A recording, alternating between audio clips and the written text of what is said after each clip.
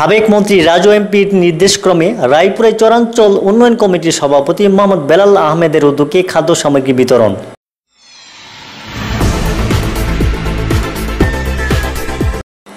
নরসিংদীর রায়পুরায় সাবেক মন্ত্রী রাজিউদ্দিন আহমেদ রাজু এমপির নির্দেশক্রমে প্রায় তিনশো কর্মহীন ও দরিদ্র জনগোষ্ঠীর মাঝে খাদ্য সামগ্রী বিতরণ করেছেন রায়পুরা চরাঞ্চল উন্নয়ন কমিটির সভাপতি মোহাম্মদ বেলাল আহমেদ।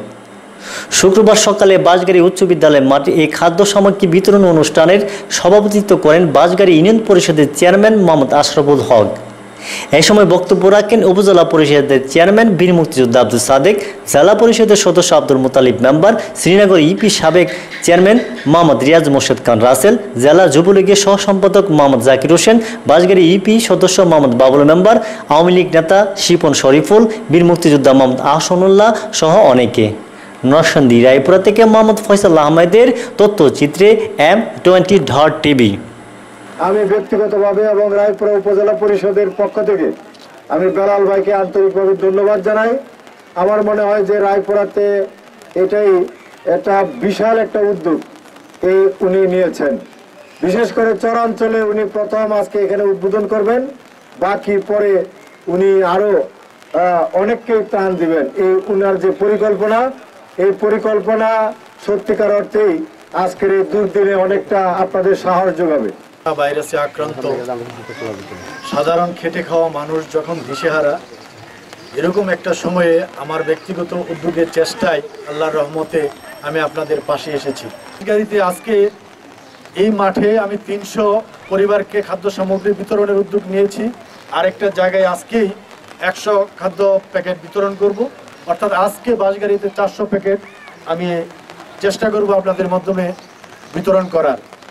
পাশাপাশি আমি ব্যক্তিগত ওই উদ্যোগ নিয়েছি, এক হাজার পরিবারকে আমি যাতে অল্প সময়ের মধ্যেই ঈদের আগেই চেষ্টা করব যে এক হাজার পরিবারের কাছে সামান্য খাদ্য সামগ্রী ঈদ উপহার হিসাবে পৌঁছে দেওয়ার।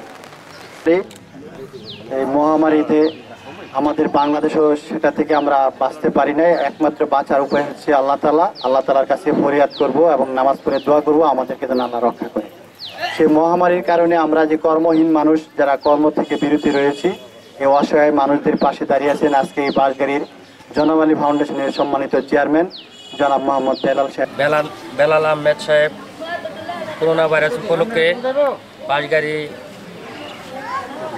গরিব মানুষ মানুষের মধ্যে ত্রাণ বিতরণ করতেছেন। উনি শীতের সময় কম্বল বিতরণ করেছেন গরিব মানুষের মাঝে। আর আমাদের নেতা মাননীয় এমপি সাহেব রাজুদ্দিন আহমেদ রাজুর নির্দেশনায় আজকে আমি ওনার সাথে কালকে কথা হয়েছে ওনার নির্দেশনায় আজকে আমি এখানে উপস্থিত। মহামারী করোনা ভাইরাসকে কেন্দ্র করে বাসগাড়ির কর্মহীন ঢাকা থেকে যারা কর্মরত ছিল, বর্তমান কর্ম নেয় এবং দরিদ্রদের উপর তার ব্যক্তিগত তহবিল থেকে সে স্বেচ্ছায় দান করছেন। রহমানুর রাহিম। আপনারা জানেন যারা ইলেকট্রনিক্স মিডিয়া আছেন প্রিন্ট মিডিয়া আছেন, যে যে দেশ, বিশ্বব্যাপী যে করোনা ভাইরাস, এই করোনা ভাইরাসের প্রভাবে পুরা বিশ্ব আটকে পড়ে গেছে। সেক্ষেত্রে আমাদের জননেত্রী শেখ হাসিনা, তিনি এই করোনা ভাইরাসের প্রাদুর্ভাব থেকে প্রান্তিক জনগোষ্ঠীকে রক্ষা করার জন্য যারা দিন আনে দিন খায়, যারা দিন মজুর, যারা রিক্সা চালক, এই ধরনের মানুষদেরকে সহযোগিতা করার জন্য তিনি উদ্যোগ নিয়েছেন এবং পাশাপাশি আওয়ামী লীগের নেতৃত্বে প্রত্যেকটি গ্রামে গ্রামে যেন সেই খাদ্য ভাণ্ডার খুলে দেওয়া হয়, যারা আওয়ামী লীগের নেতৃবৃন্দ আছেন, যারা জনদরিদ্র আছেন। সেই দিক থেকে আমাদের প্রিয় নেতা রাজুদ্দিন আহমেদ রাজু সাহেব পুরো রায়পুরা এলাক- এলাকাকে নিজের সন্তানের মতো আগলে রেখেছেন।